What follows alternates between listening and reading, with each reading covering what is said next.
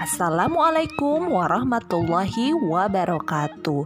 Kumaha daramang murid-murid kelas 2 Mugi-mugi sarehatnya Nah insya Allah dinten iya orang bade diajar bahasa Sunda.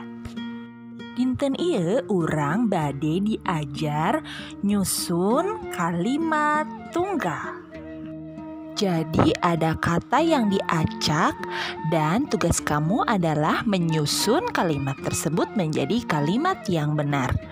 Untuk lebih jelasnya, mari kita lihat video penjelasannya. Usep sakola ti balik. Kalau kita artikan menjadi Usep sekolah dari pulang. Nah, itu belum kalimat yang benar ya.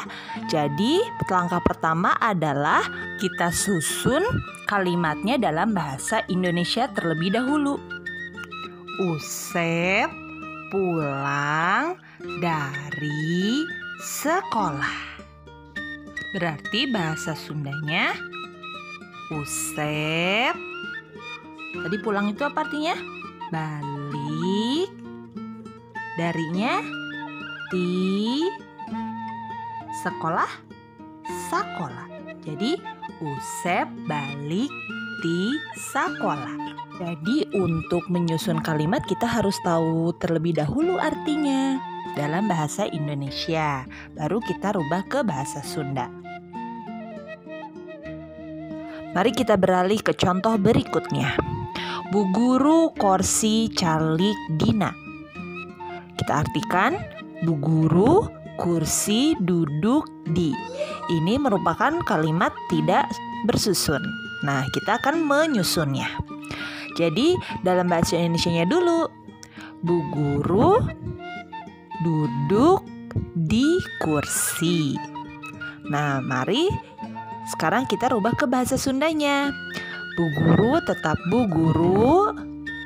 Duduk apa tadi? Calik di dina korsi korsi ya. Bu guru calik dina korsi.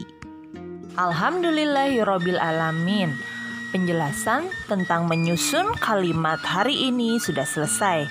Terima kasih yang sudah menyimak. Jika kurang paham, boleh diputar kembali videonya. Nah, sekarang tugasnya adalah mengerjakan sama seperti tadi menyusun kalimat yang acak menjadi kalimat yang benar. Halaman 17 nomor 1 sampai 5. Sampai jumpa lagi minggu depan. Mohon maaf jika ada kekurangan. Wassalamualaikum warahmatullahi wabarakatuh.